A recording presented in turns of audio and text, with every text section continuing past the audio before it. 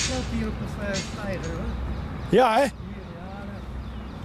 moet Heel voorzichtig lopen. Heb je die uitgebrande auto gezien? Ja. Zou dat nou door die eigenaar ge- gedaan zijn? Wat denk je? Ik denk het wel. Of het nog iemand die zo'n gigantische hekel aan hem heeft. Nee, dat zijn criminelen. Ja. Die hebben die wagen gestolen. Oh, dat zou ook, hè, ja. ja. Want Het was echt best wel een leuk wagentje. Ja, nu niet meer. Nee, een heel bandje.